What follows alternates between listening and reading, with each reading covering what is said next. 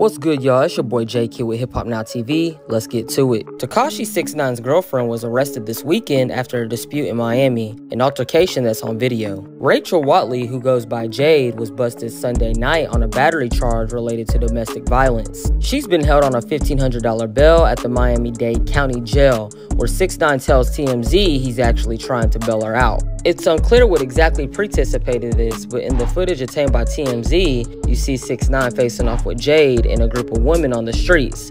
This is while they were all outside of a club. At one point, you see one of the ladies apparently trying to swing on the rapper.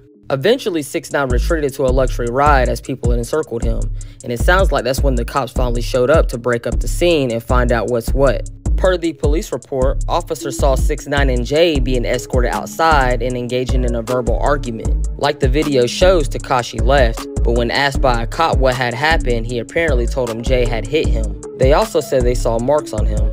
The officers note that they spoke to witnesses who claimed Jade had struck at 6 9 while inside and even grabbed at his chain. Although cops said that they saw 6 9 with visible injuries on his face, they also say that in the end, he didn't want to cooperate with them whatsoever. Still, they had enough to cuff Jade and take her to the slammer. The cops say this whole thing was caught on tape from surveillance video inside, plus all the other evidence. 6 9 himself tells us Jade, who's been his girlfriend for four years, attacked him for some reason, and he believes her friends were swaying her.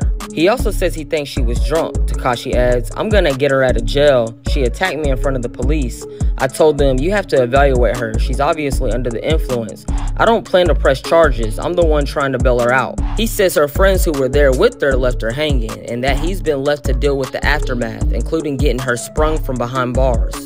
What do you think about 6 9 and Jade? Let us know. Make sure to like, comment, and subscribe. This is your boy J Kid with Hip Hop Now TV. Until next time, A, we out.